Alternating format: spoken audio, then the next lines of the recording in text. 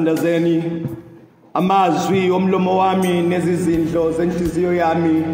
Mazithandeke kuwe Jehova dwala lami nomhlengi wami. Amen.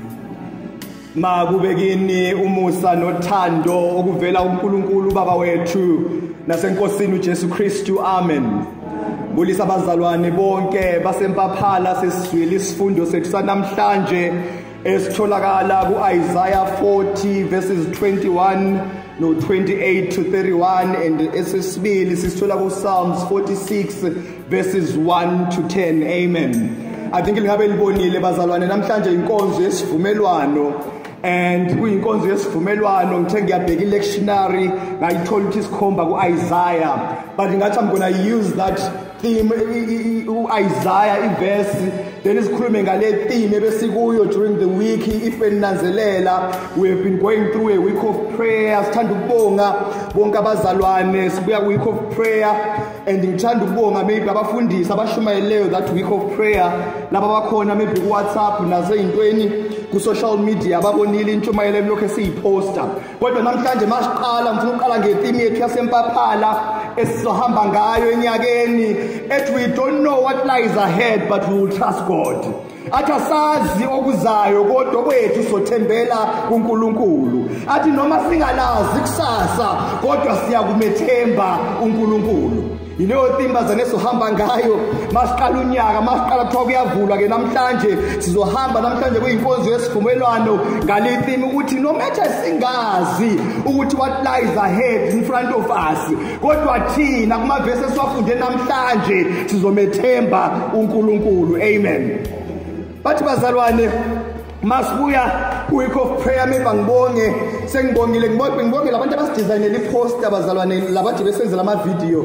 Bokukuhle kakhulu editha i-content yonke ibinhle kakhulu izandla zidlula ikhanda. Nokuqala kunokuthi bazalwane it is impossible to get far endleleni yakho yokukholwa without first establishing, establishing a solid foundation in prayer. Amen.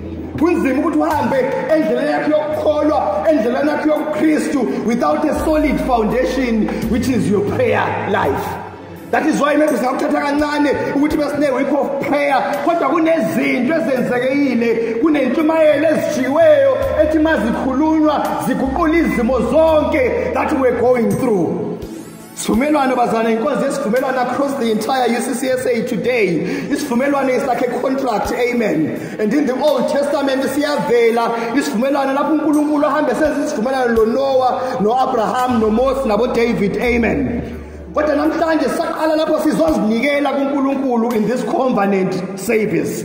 Sizozinikela kuNkulunkulu. Even namhlanje kuthiwa kuyaqala isinzi lakho kuyaqala umnyaka because it's one of those first Sundays esiqala khona. Kodwa sithe masiqala kwasihambela kahle singama-congregate saza saqondana ne-covenant week ukuthi lapho esizobuya khona sizozinikela kuNkulunkulu. Today this is the day that the Lord has made. Let us rejoice and be glad in it. Amen. Fact ukuthi lapha besho njalo unobhala umamzimbile the fact that you are alive it means there is hope. Likhona ithemba for a better future. Ngizokuthi mzalwane mawuhleli lapha kusavukeka kusahambeka kusakhona ukuza. Nawe ubani ube part of this fifth ecaweni? Ngizokuthi kwelisesekhona ithemba. There is hope for tomorrow. Even if we don't know ukuthi kwenzakalani even if we don't know ukuthi what lies ahead kodwa thina soza sihlale simthemba uNkulunkulu. We don't know what lies ahead, but we're gonna trust God. Asazi okuzayo kodwa kwethu sothembela kuNkulunkulu. Bathi noma singalazi ikusasa lethu kodwa siyakumethemba uNkulunkulu. Sahamba bazwane bathi covenant is an agreement which brings about a relationship nobudlelwano of commitment phakathi kwaNkulunkulu nabantu bakhe. Amen. Sizovuselela ngceleni namhlanje lezo zifungo wayithathayo. Wagqoka inifomu wayithatha wama phambili wathatha uba yilunga lebandla wathatha uzomsebenzela uNkulunkulu uzomhambela abazalwane uzoshumayela izwi lakho uzokwenza konke. Namhlanje is that kind of a service lapho esovuselela lezo nqumo esayithathayo lama covenant esayenza noNkulunkulu. Sathi noma kunzima singazi ukuthi phambi kwethu kwenzakalani singazi ukuthi kusasa yethu kwenzakalani kodwa siyomethemba uNkulunkulu.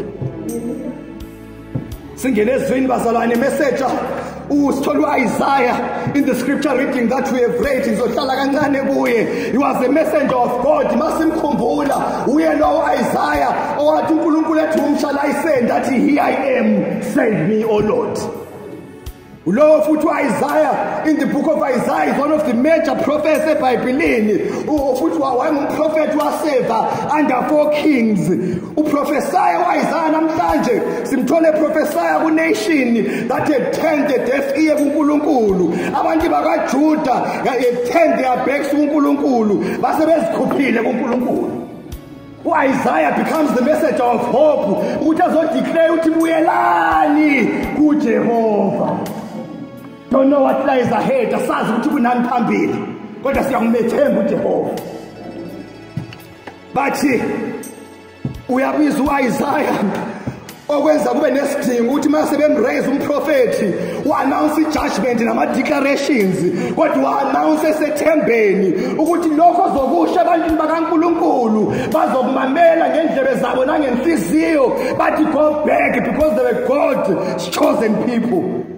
And they were meant to return kuNkulunkulu. Athi xaqala kahle. Athi anazi yini? Anizwa yini? Anitshelwanga yini kwasekuqaleni? Aniqondanga kwasekusikeleni komhlaba na? Ukuthi uJehova unguNkulunkulu ongunaphakade udalile imkhawulo yomhlaba. Mina ngimasicula namhlanje ukuthi ungokaJehova umhlaba lokugcwala. Konke kwawo izwe labakhile kuwo umi ngaphezulu.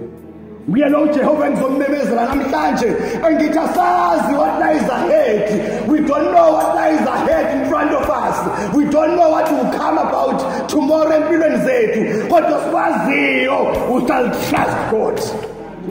Because ngokaJehova umhlaba nokugcwala konke kwawo. Athi asazi even in the midst of covid even singazi ukuthi what lies ahead kodwa siyomethemba uNkulunkulu ngoba unguNkulunkulu ongunaphakade ifungelanto yokumethemba uNkulunkulu kodwa themba mamsihle ukuthi unguNkulunkulu ongunaphakade unguNkulunkulu ophilayo bazalane unguNkulunkulu othembekileyo isiqalo nesiphethu ungumafuma ngajiki kwesibili bazalwane uNkulunkulu strengthens us during our time of waiting. It's like manje eh we are impilo yethu seems like we we are at a point ukuthi silindile we are waiting for something. Ithi bazalwane it's like awazi namhlanje mamzimbili ukuthi we are this in this room of life waiting room of life. Awazi ukuthi whether it's my turn to die awazi ukuthi whether is my turn to get infected. Awazi ukuthi whether is my turn to get i-vaccine. Awazi ukuthi kusasa yimi ngizofana nayo i-covid. Kodwa whilist siseleyo ku-waiting room. Niyazi bazalwane most of us have been kudokotela. When you get to udoctor usehamba useyenze appointment. Ufike udlule khona e-reception. Wenze konke uhambise ikhadi lakho bakubhale phansi. Base bekucela ukuthi linda lapha sokubiza uthi uma usulindile ku-waiting room udokotela kodwa ikhona into yaziyo ukuthi ngalobo suku mamziwa uzombona udokotela kodwa ukuthi uzombona sikhathi sibani awazi. Kodwa ithemba ukuthi uzombona udokotela likhona because bakuhlalisile ku-waiting room kodwa linda ave inzima indaba yokulinda bazalwane indaba yokulinda i-patience inzima. Ulinde in the waiting room of life. Manje cabanga namhlanje kungani sikuleyo waiting room of life lapho esilindileyo singazi ukuthi silindeleni singoba sazi ukuthi phambi kwethu kunani. Asazi ukuthi udokotela uzothi evula sitholeni phakathi asazi ukuthi udokotela uzothi usufike phakathi akudiagnose athi unani mamkhosi kodwa kodwa sihamba sinethemba ukuthi lelo lala maku-waiting room ngimlindele lowo dokotela. Kodwa ithemba lami libuye ngoba uzongitshela ukuthi ngiphethwe yini abesephinde ngiprescribhele ukuthi ngelaphe kanjani. We don't know what lies ahead, but we're going to trust God. Amen. In this waiting room of life, esikuyo bazalwane kwisikhathi se-COVID, on this covenant Sunday sisalindile, sithi asikwazi ukuthi what lies ahead, kodwa thina sithembele kuNkulunkulu.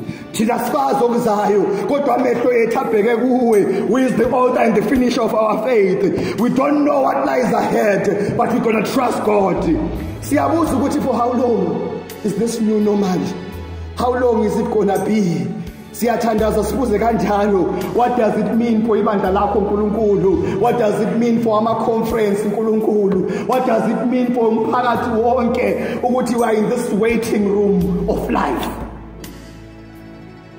But if we go outside siyothola i-covid. If sihlala endlini siyobulawa indlala sikuleyo period if ngiphuma phandle ngizokuya ne-covid if ngihlala endlini futhi ngizobulawa indlala we don't know what lies ahead. Kodwa sizomthemba uNkulunkulu. Ngoba wethu uJehova bazalwane udalile imikhawulo yomhlaba bathi akapheli mandla akakhathali nokuqonda kwakhe. Akunakuphenywa amen. Athi izinsizwa uIsaiah ziyaphela amandla zikhathale nabashe bayawa bayawa nokuwa. Kodwa khepha bamathembayo uJehova bayathola amandla amasha bayakuba njengamaphiko ekhozi bagijime. Bangakhathali bahambe bangaphela amandla amen. Because there are times empilweni zethu whereby siphelelwa ngamandla sijikela ngesibathembileyo siya izihlobo zethu. Kodwa umprofethi uIsaiah namhlanje uthi let us learn from ukhozi let us learn from i-eagle bazalwane there are four things i want to speak about. But ukhozi malibona ukhozi does not escape isiphepho bazalwane ukhozi does not escape the storm amen. Ukhozi knows when isiphepho sikhona masiqhamuka before sifike luthi ukhozi maselibonile it then flies high liyakhuphukela phezulu. Lube seluvuyula-ke impiko so that iwindi leza nestorm iyiphushele phezulu. Uthi masokunjalo ma istorm sesifikile bathi ukhozi luvula amaphiko ayo so that umoya uphakamise above the storm. Kodwa while the storm is raging below ukhozi lona lundizela above the storm. That is why uIsaiah sinikeza that scenario ukuthi you need to arise above the storm. Even while isistorm sihamba empilweni zethu but istorm has an expiry date. While isikonke kusenzeka istorm sizodlula kodwa sithe kudluleni kwakho wena strive to become an eagle and so high amen. But ukhozi does not escape the storm but lusebenzisa isiphepho leso storm to lift it higher nawe akusebenzise le covid lesikhathi okuthiwa hlala ekhaya lesikhathi okuthiwa yiza liyi-fifty uze ecaweni akusebenzise leso sikhathi in this waiting room of life and decide namhlanje ma uzovuselela kwinkonzo yecovenant. Umthembise unkulunkulu into etangible ozohamba uyenze ungathembisi ngoba inkonzo yecovenant. Kodwa leso sinqumo ozosithatha ube wasithi will carry you through the storm.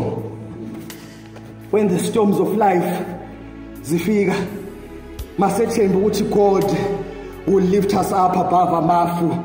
Amen. Whatever storm you are going through bazalwane asikho isimo esingadluli. Asikho isimo esingadluli. Uyasondla sigcine uNkulunkulu wethu.